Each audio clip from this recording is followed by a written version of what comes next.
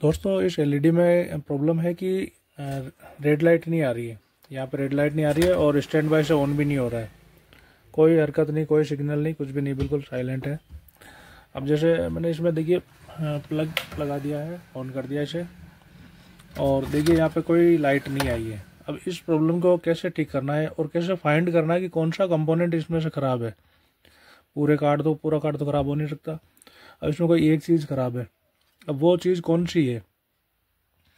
तो उसका पता हम जो है कैसे लगाएँगे? आ, ये मीटर की जो ब्लैक प्रोफ है यहाँ ग्राउंड पे कर दिया मैंने कनेक्ट। और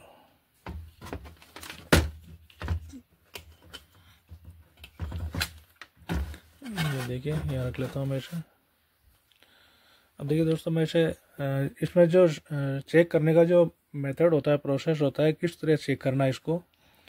वो दोस्तों, ऐसा होता है कि एस एम पी एस है, इधर ए सी वोल्ट है डेंजर एरिया जहाँ पे हम हाथ नहीं लगा सकते चालू एलईडी में नहीं लगा सकते हाथ, क्योंकि 220 वोल्ट सारे करंट होते हैं हाई हाई वोल्टेज होते हैं, इधर हाथ लगा सकते हैं। इस एस एम पी एस से इधर कूल एरिया है, इधर हॉट एरिया है। तो सबसे पहले अपने को यह देखना है, ये डाइवर्ट जो है 12 वोल्ट का है, और ये 24 वोल्ट 18 वोल्ट बैक लाइटों के लिए। अब ये जो है डाइवर्ड, यहाँ पर 12 वोल्ट आने चाहिए।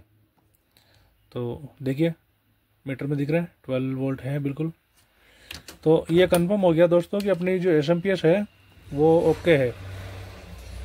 एसएमपीएस में कोई खराबी नहीं है।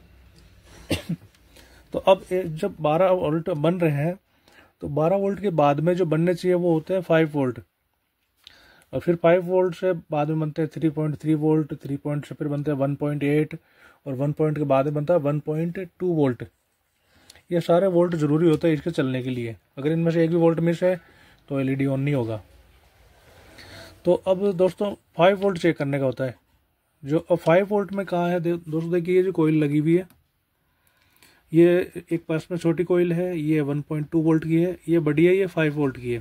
तो पहले ये 5 वोल्ट बनाएगी, उसके बाद में इसे देखिए तो 1.2 वोल्ट जाएँगे इसमें, और ये आई यहाँ पर आएँगे 5 वोल्ट तो 3.3 वोल्ट बनेंगे। और 1 पॉइंट इसकी एक पिन पर 3.3 आएँगे और एक पिन पर 1.8 वोल्ट आएँगे। तो ये बाद का है। पहले 12 वोल्ट से सीधा अपने को यहाँ आना है 5 वोल्ट पे। अब कुछ कोयल के पॉइंट पे ही चेक कर लेते हैं, यहाँ पे। देखिए फाइव वोल्ट नहीं बन रहे, जबकि ज़ीरो पॉइंट सेवन आ रहा है। मान लो एक वोल्ट भी नहीं है, आधा वोल्ट मान लो। अब ये आधा वोल्ट क्यों बन रहा है कि ये आईसी जो है वर्क नहीं कर रही है। अगर काम कर रही होती वर्क कर रही होती आईसी ओके होती तो यहाँ पे पूरे फाइव वोल्ट आते अब देखते हैं आईसी को बारह वोल्ट मिल रहे हैं कि नहीं मिल रहे हैं? ये आईसी की पिन पे लगाए, ये देखिए, बारह पॉइंट छः मतलब आईसी को तो 12 वोल्ट मिल रहे हैं, रेगुलेटर आईसी को तो और ये वापस 5 वोल्ट आउट नहीं कर रही है। ये देख नहीं आ रहा है। तो ये आईसी खराब है। ये आईसी चेंज करने के बाद में अपन देखेंगे कि आगे क्या फॉल्ट है। या तो ये आईसी लगाने से चल जाएगा एलईडी अपना, और नहीं चला तो फिर आगे की वोल्टेज चेक करेंगे। तो चलिए, सबसे पहले ये। अब दोस्तों, मैंने एक हाथ में फ़ोन पकड़ रखा है। एक हाथ से तो थोड़ा वीडियो को रोकना पड़ेगा, और मैं इस आईसी को चेक करता हूँ। दोस्तों, एक तरीका और है कि इसको आईसी को ये पावर में बंद कर दूँ। और आईसी ख़राब है या इसका आगे शॉर्टिंग है? जैसे फाइव वोल्ट पे जो कैपेसिटर लगा होता है, वो शॉर्ट हो जाता है बहुत सी बार। तो भी वोल्टेज ड्रॉप होते हैं। तो ये देखिए बजर बज रहा है। अब बजर मोड पे लाना मीटर को और चेक करना है इसके फाइव वोल्ट ये देखिए, आगे शॉर्टिंग नहीं है। मतलब बजर नहीं बजा, कोई शॉर्टिंग नहीं है, सिर्फ़ आईसी ही ख़राब है। और दोस्तों देखिए आईसी के साथ ये कैपेसिटर जो फूला हुआ है, ये भी चेंज करना पड़ेगा। क्योंकि ये फूल गया तो अब दोस्तों जो आईसी ख़राब हुई है, मैंने बहुत सी एल में देखा है कि जब ये कैपेसिटर फूल जाता है ऊपर से तो उसको 12 वोल्ट क्लियर नहीं मिल पाते तो ये आईसी ख़राब हो जाती है। क्योंकि 12 वोल्ट सीधे डायरेक्ट इसमें जाते हैं आईसी में 12 से सीधे पाँच बनते हैं। तो ये फ़िल्टर ख़राब होने की वजह से, सही फिल्ट्रेशन नहीं होता है करंट तो ये आईसी पक्का ख़राब हो जाती है। मैंने जब भी एलईडी खोली मैंने, इसमें कैपेसिटर फूला हुआ मिला तो वो आईसी भी ख़राब मिली मुझे। तो अब चलिए पहले ये आईसी चेंज कर लेता हूँ और फिर मैं वीडियो वापस बनाता हूँ।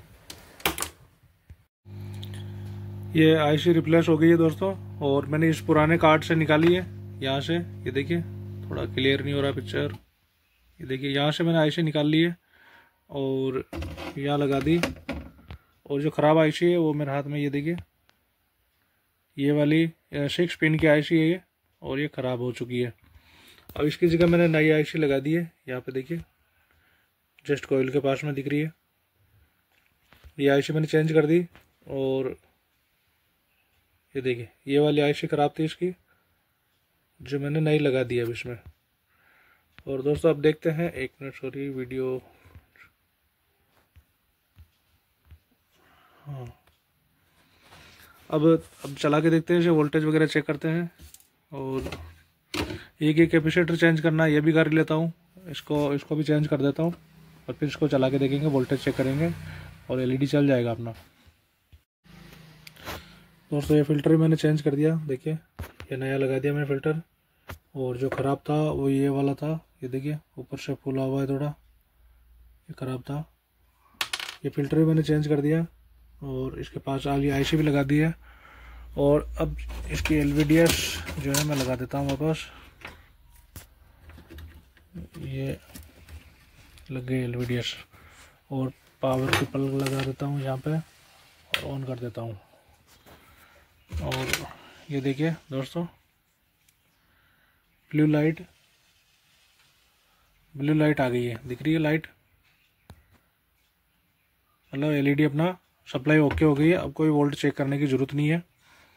और अब इसे एक बार ऑन कर लेते हैं कि पिक्चर बना है कि नहीं बना है। ये देखिए, ये एलईडी ऑन हो गया। ऑन हाँ। ये लाइट ब्लिंक कर रहा है। इसे इसे डायरेक्ट ही ऑन करना पड़ेगा, चिमटी से। क्योंकि ये पैनल दूसरे एलईडी का है दोस्तों। मैं इसे निकाल ही देता हूँ।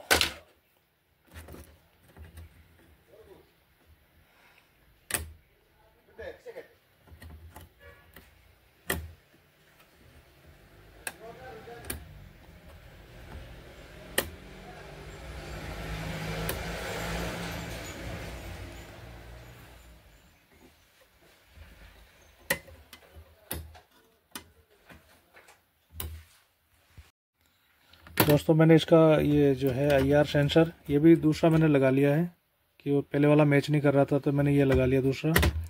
और अब भी इसमें देखिए रेड लाइट नहीं आई है ऑन नहीं हुई है, जबकि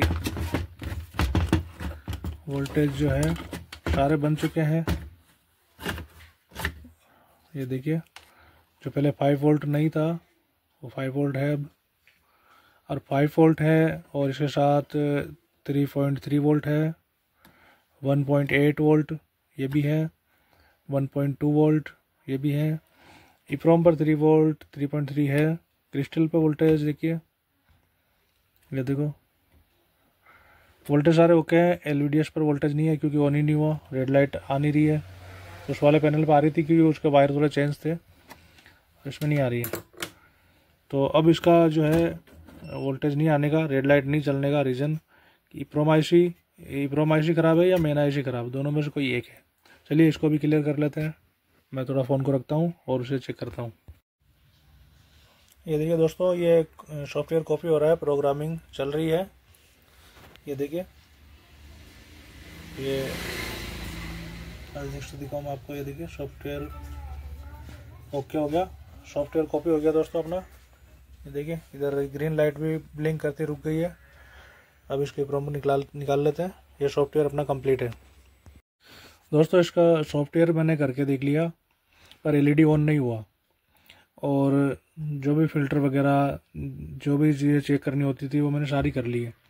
उसके बावजूद भी इसमें रेड लाइट नहीं आई, ना ऑन हुआ। तो फिर मैंने डिसीज़न लिया कि इसका कार्ड जो है चेंज किया जाए। और अब ये देखिए, जो मैंने काम किया था, वो ये कार्ड है, जिसपे मैंने ये चीज़ें प्रोम वगैरह भी चेंज करके देखी सॉफ्टवेयर भी करके देखा। तो फिर ये सेम कार्ड ऐसा ही और मिल गया मेरे पास, ये देखिए। तो अब मैंने इसको तो रख दिया, क्योंकि इस पर अपन ने काफ़ी काम कर लिया, इसकी कैपेसिटी फ़िल्टर वगैरह लगा लिए और सॉफ्टवेयर भी करके दिया, वो नहीं हुआ। तो फिर मैंने ये कार्ड लगाया सेम है। और इसकी, उस वाले कार्ड की जो प्रोम है, वो मैंने इसमें लगा दी, ताकि लोगो और रिमोट वगैरह सेम रहे। हुंडाई का ही लोगो आए हुंडाई की एलईडी है तो। तो ये मैंने, पुराना कार्ड है कॉपी सॉफ्टवेयर जो है, इसका इप्रोम आईसी जो पहले वाले कार्ड की लगा ली, वो सॉफ्टवेयर सही था इप्रोम सही थी, इसमें सही चल गई है। और ये देखिए रेड लाइट आ रही है। और इसे ऑन करते हैं। ये देखिए, यहाँ पे मैं लगा दूँ चिमटी टच करता हूँ। ये देखिए, ये एलईडी ऑन हो गया। और अब देखिए पिक्चर इसकी।